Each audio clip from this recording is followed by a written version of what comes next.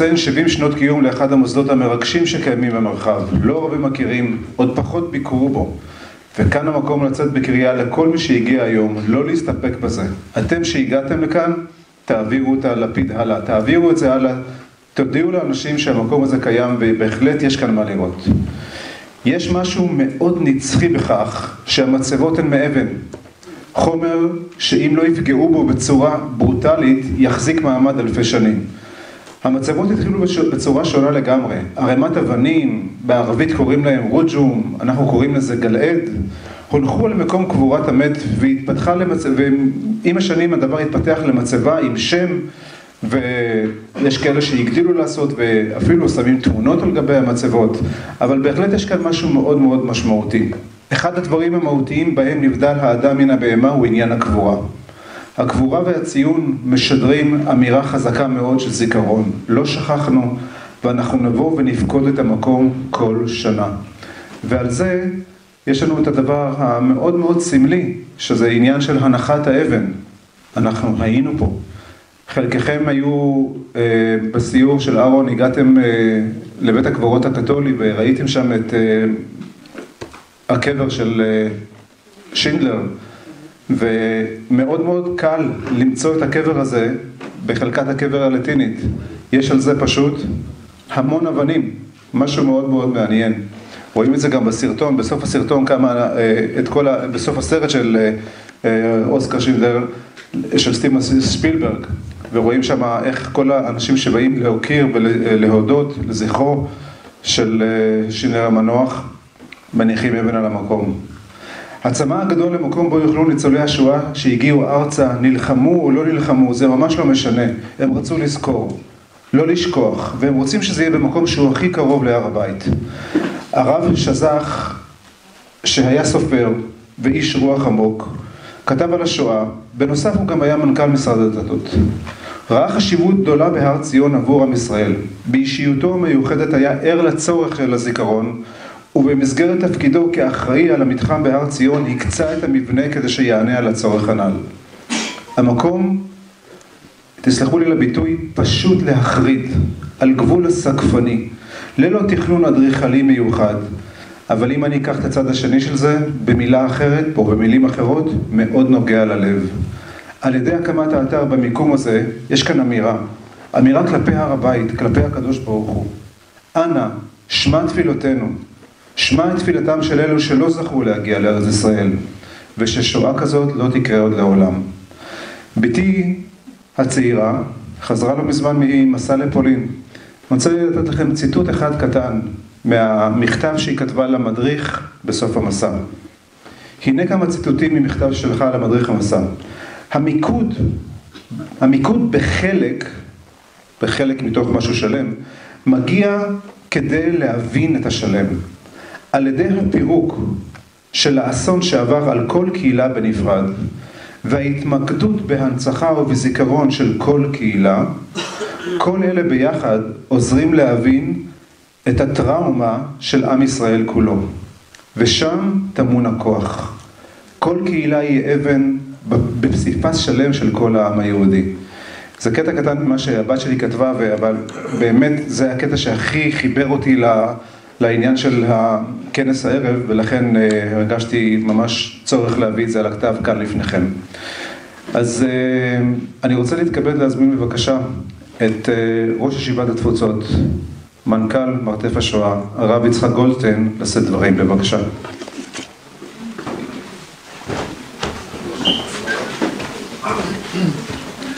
ערב טוב, באמת זה כבוד לנו שפה התאספו כל כך הרבה אנשים חשובים שאכפת להם, שמעניין אותם העניין הזה. רציתי לדבר קצת בקצרה על ההיסטוריה, אבל בעיקר על החזון העתידי. כמובן שמרתף השואה הוקם על ידי 13 ניצולים ביחד עם מנכ"ל משרד הדתות דאז, הרב שמואל זן בן כהנא, בנו של רבה האחרון של העיר העתיקה של הר ציון, שראיתי בתוכניה שידברו עליו ויספרו את מהלך חייו המופלאים. מרתף השואה הוא בעצם לא מוזיאון, זה גם לא לגמרי אתר הנצחה, זה גם לא לגמרי אה, בית קברות, זה כולם ביחד. זה גם קבורה של אפר הקדושים, גם אתר הנצחה, גם קצת מוזיאון עם חפצים, חפצי קדושה. זה פשוט קם על ידי העם עצמו. ספונטני. פשוט מיד אחרי השואה באו לארץ וחיפשו דרך להנציח, להתקשר, להרגיש את הכאב, להתפלל, להתחבר ביחד, להתגבש ביחד, לשיר בחדר, אני מאמין באמונה שלמה על העתיד. זה איך שהמקום נוסד. עברו שנים, הגיע דור שני. דור שני רוצה להרגיש, להתחבר, מה ההורים הרגישו, מאיפה הם באו, מה הם עברו, מה הם חוו. ועדיין היו פוקדים את המקום קבוצות של קהילות. אחד המאפיינים המיוחדים של המקום, שעל המצבות הקהילות, הניצולים החליטו מתי הוא יום הזיכרון של אותה קהילה. והיה על זה הרבה ויכוחים ומחלוקות, אבל הגיעו להסכמה. זה היום שהוא יום הזיכרון של אותה קהילה, של רוב בני הקהילה נרצחו וכולי. ואז הבנים ביחד, הנכדים עם הסבות היו מגיעים לפה באותו יום זיכרון של אותו קהילה להתייחד, להרגיש, לחוש, להתפלל, לכבד. עברו 70 שנה. הדור הראשון כמעט ולא קיים. הדור השני מגיע, אבל לא כל כך. וודאי וודאי שלא הדור השלישי. וזה המקום לדבר על החזון. אני בתור יושב ראש עמותת מרתף השואה, מרתף השואה, אני רואה צורך גדול,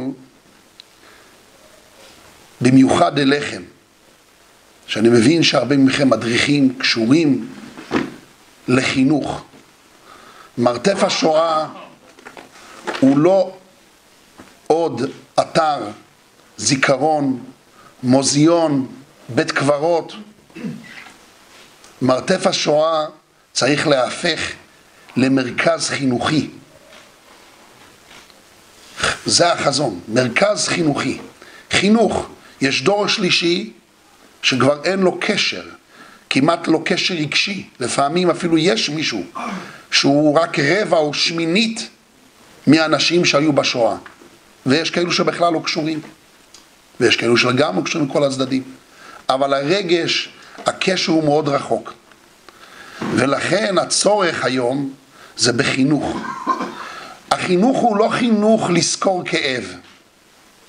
כי הכאב הלך, מה העניין לזכור? החינוך הוא לא בעיקר להתפלל שזה לא יקרה עוד פעם, או מה נעשה שזה לא יקרה עוד פעם. החינוך בעיקר זה איך לקבל, איך להכיל, איך להבין את התוכנית האב של הבורא בשואה. אחרי 70 שנה אפשר לעמוד ולדבר כי הרגש קהה ולנסות להסתכל אחורה איזה דברים איזה הנאות, איזו טובת הנאה, או איזה רעות הביא לנו השואה. איך מתייחסים לרוע בעולם.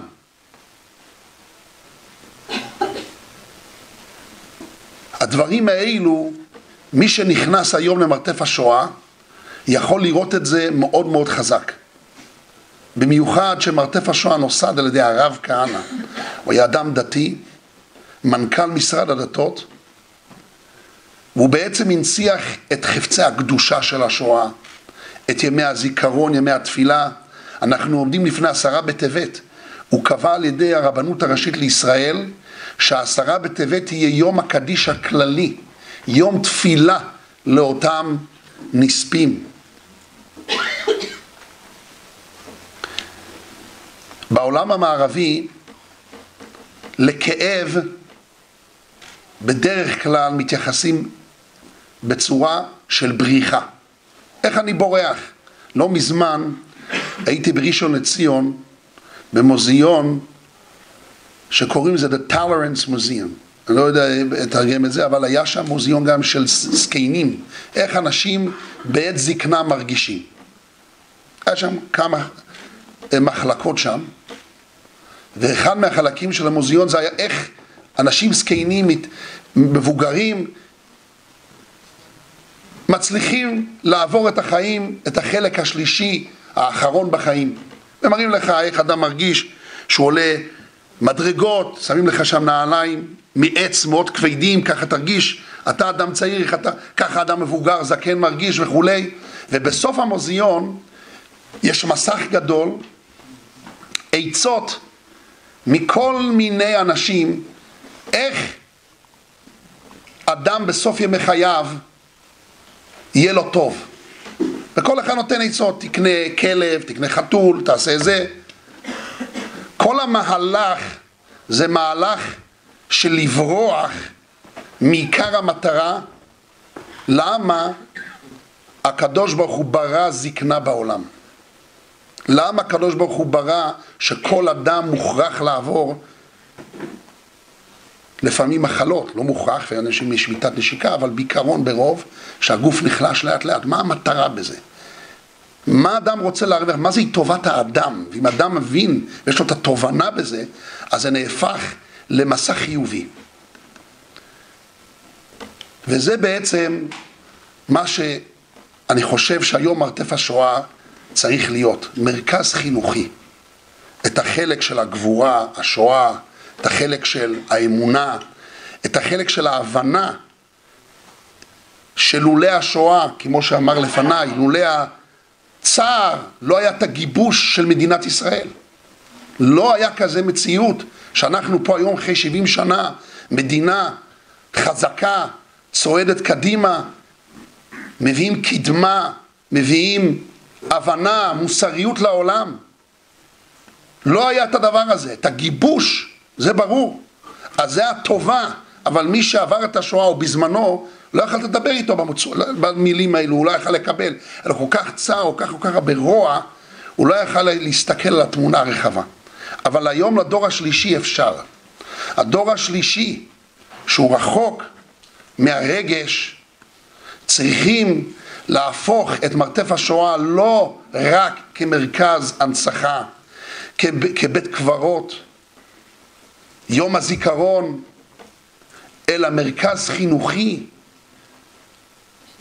איך אנחנו מסתכלים על ההיסטוריה של עם ישראל, איך מתנהגים עם המאורעות של עם ישראל, איך נתנהג ונשפר את עצמנו שלא יהיה עוד פעם שואה וכולי. זה החזון. אני מקווה שכולכם, ש... הודרכתם במרתף השואה, או הייתם, ראיתם בעצמכם, תוכלו לקחת את המסר הזה ואת החזון החדש הזה, בכלל, את כל נושא השואה, נסיעה לפולין, זה לא משנה למה שעושים, זה לא להתחבר ולהרגיש רק, אלא להתחנך ולהבין את תוכנית האב של האלוקים לעם ישראל. ערב טוב.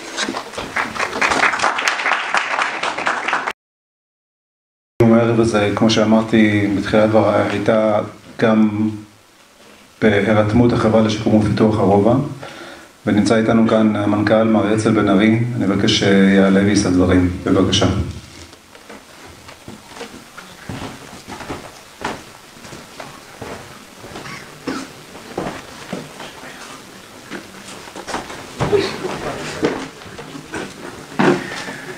הזיכרון הראשון שלי מרתף השואה זה גיל חמש, אולי שש.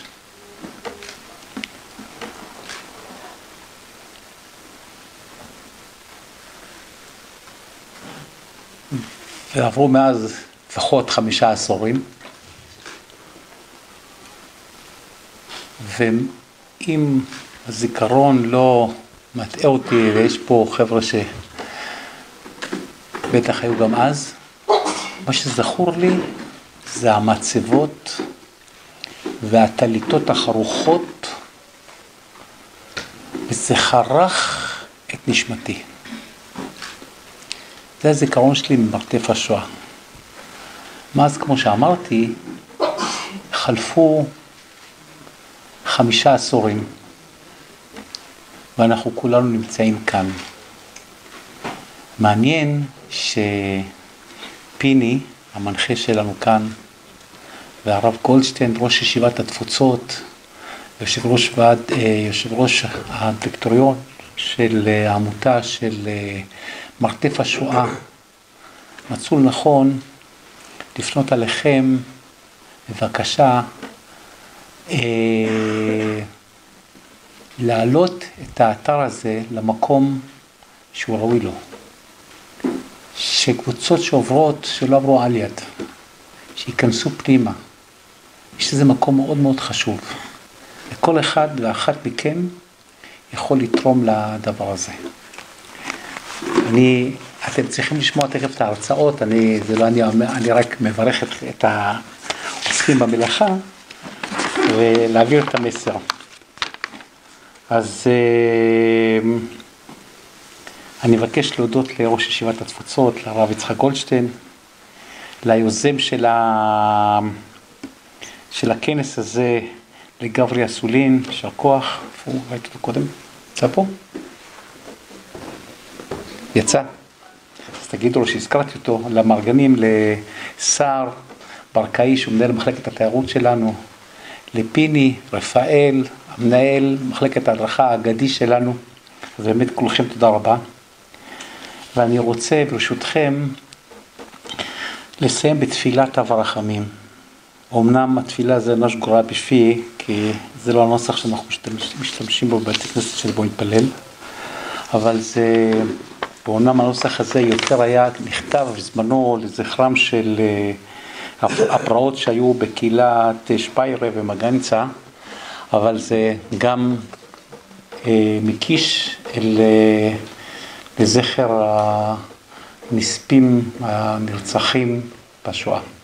אב הרחמים, שוכן מרומים, ברחמיו העצומים, הוא יפקוד ברחמים החסידים והישרים והתמימים. קהילות הקודש שמסרו נפשם על קדושת השם, הנאהבים ונעימים לחייהם ובמותם לא נפרדו. מנשארים קלו, מאריות גברו, לעשות רצון קונם וחפץ אורם, יזכרם אלינו לטובה עם שאר צדיקי עולם, וינקום לעינינו. נקמת דם עבדיו השפוך, ככתוב בתורת משה איש האלוהים, הרנים נוגעים עמו, כי דם עבדיו יקום, ונקם ישיב לשרה וכיפר אדמתו עמו. ועל ידי, הנביאים, ועל ידי נביא, עבדיך הנביאים כתוב לאמור, וניקיתי דמיו לא ניקיתי, ואדוני שוכן בציון. ובכתבי הקודש נאמר, למה יאמרו הגויים איה אלוהים? יוודע בגויים לעינינו, נקמת דם עבדיו השפוך. ואומר, כי דורש דמים אותם זכר, לא שכח צעקת הנביאים. ואומר, ידין בגויים מלא גוויות, וחץ ראש על ארץ רבה, מנחל בדרך ישתה על כן ירים ראש. השם ייקום דמם של אלה שנרצחו, ואנחנו, שבמותם ציוו לנו את החיים, כל אחד שיעשה את המעט שהוא יכול, על מנת להרים את המקום הזה. יהיו ברוכים.